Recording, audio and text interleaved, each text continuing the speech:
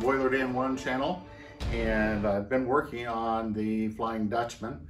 I want to give you an idea what this episode is going to cover. I have color coded the parts list so I'll discuss that a little bit. That may be a little boring for some of you, but if you're a, a beginning modeler, it'll help quite a bit. Then I cut hundreds of planks for the deck. I'll talk about how to cut those straight and how to color the edges. And then I did some planking on uh, the two front lower decks. Turned out pretty good. I'm happy with that. I want to mention that I started coppering a lot of the metal parts and I had a little bit of a setback. You have to make sure that the copper you buy is real copper, and I, am talking about copper leafing. There's a lot out that is imitation copper, and I had apparently had some of that in old stock and didn't realize it wasn't really copper. I've done quite a bit of copper leafing, and I must have run through the actual copper and came across some uh, artificial copper, and it will not it will not get the patina. So I had to strip it all off, so that set me back. So in episode three, I'll go back to the copper leaf and show you how I did that. Before I move forward, I'm going to move backwards just a little bit. I want to summarize something so the next part will make sense. You have two sets of papers. One is the building plan. It goes mostly alphabetical but in it, it also identifies your plan sheets. The other paper you have is the written instructions, just a couple of pages in dual language,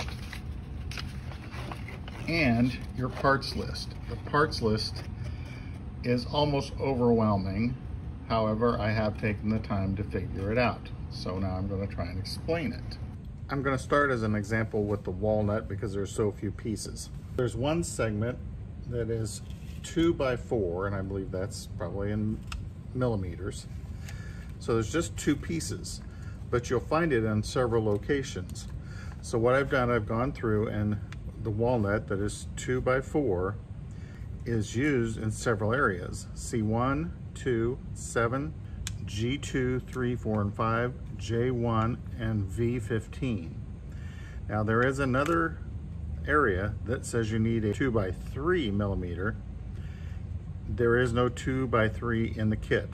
So it'll either have to be this or I'll have, have to substitute something.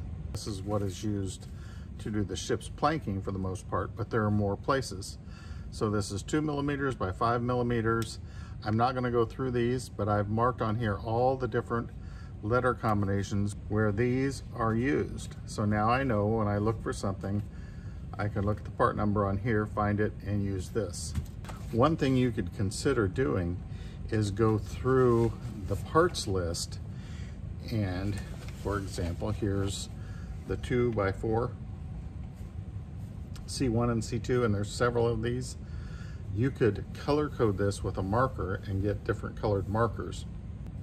So you could readily cross-reference it to these stacks. In other words, I could color code these also. I did go ahead and color code the loose pieces of wood and on my notes that says where I need each of these different pieces, uh, I just put a mark so I could tell what color. This is a little close. This is green, this is yellow. Other than those two, it's obvious which ones they are. So how I used this is I went into the parts list, which also gives me the size, and I put the corresponding color. So as an example, this piece here, I need I5. So I go to the parts sheet, find I5, see that it's purple. If I need the length, there's the length that I need. And go over here to find the purple. These are all those uh, width and thickness of wood. They're different lengths, so I'll have to cut it to size but I think that will help. I hope that's clear. Um, I know it is going to work for me, but I don't know if it'll work for you or not. Another minor thing that I picked up on, if it's a 0, comma 6, that really means 0.6 millimeters as far as the thickness. On the other hand, if it's a 0 with a strikeout and a 6, that indicates it's a dowel rod. I have not sorted through the dowel rod yet, but it doesn't look like it's that tough of a job. I'm starting to work on the lower decks and get them planked. It does require that you cut them to size. The planks that I need for the deck are part B1. I will need 266 of them. They are 65 millimeters in length, however, with my color coding. Uh, this is quite a bit longer than that, so I need to cut them down to size. Cutting those planks by hand, I cannot get them exactly the same, so I use my saw. I picked this up at Harbor Freight. It wasn't very expensive. It's a two inch benchtop cutoff saw. I have attached it to my uh, workspace. This is a straight edge for a table saw or a band saw, and it can be adjusted. I've attached it to the, my little uh, workbench here, and I've measured across and got the measurement that I need. I've taken a, a, grouping of about 10, maybe 9, spaced the tape out so it doesn't change the angle of anything. And I've been cutting them, laying them in the vise vertically. And tighten this down. I can hold here for when it finishes the cut.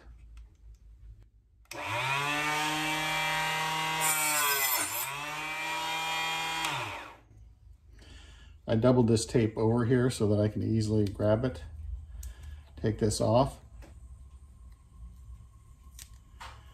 and there they are, a consistent size. Here are my cut bundles, and one thing I, I did not mention, the very first cut, I normally just cut off the very edge because sometimes they're not exactly straight in there. Now this time I got lucky and they were all straight, but it's just just a fraction of an inch to make sure that your uh, leading edge is all cut exactly the same. The instructions show taking a pencil and darkening the edges of these planks. I do it a little differently, so let me show you. First you get a stack of them, kind of line them up. They're uh, on top of each other, just so you know then lay them on their edge so you get a flat edge. And then take some sort of a clamp.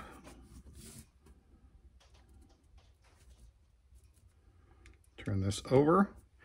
Instead of fighting with a pencil, I have a very wide magic marker, permanent marker, and I do them in black.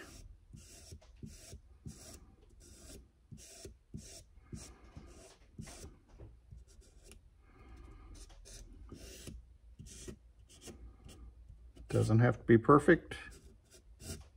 Now we're going to do the same thing on the other side.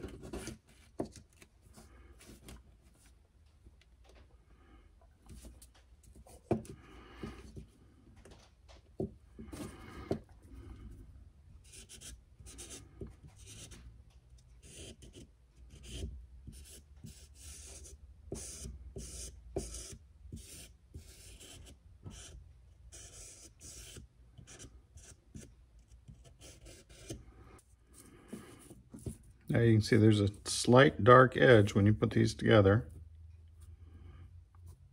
And I prefer it over pencil.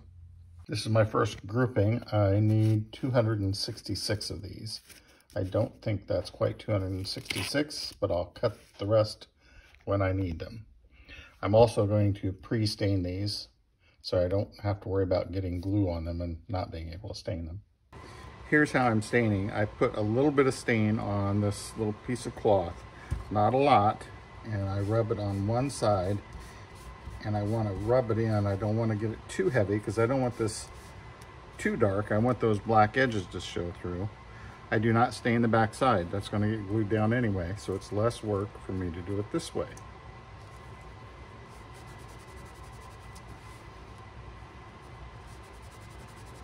I've planked what is part B2.